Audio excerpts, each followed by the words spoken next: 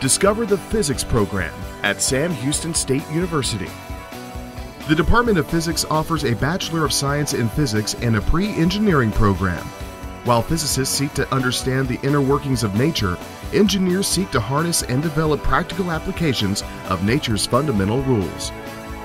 Students interested in engineering have several options to choose from, including the two year program and the 3 2 dual degree program. You have a lot of really nice advantages to studying physics at Sam, like you have small classrooms, which means that you can get very involved with the process. Um, the mathematical derivations of equations and formula.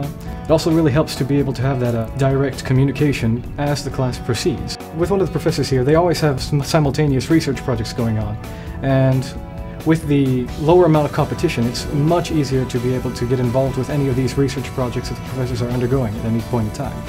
As a integral part of the program, you are required to do research under a professor.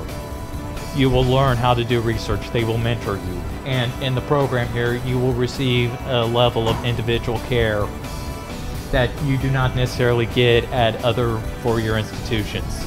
You will have access to electronic labs, you'll have access to mechanics labs. If there is a project that you want to do and you end up having to get the materials yourself, the professors will still mentor you. Physics is just all about being creative with math and using math to describe the world around you. It's something that you can write down on a piece of paper and look at and understand this is what's happening in the world around you. It's super interesting and fun if you look at it a certain way. Sam Houston State University, a great name in Texas education.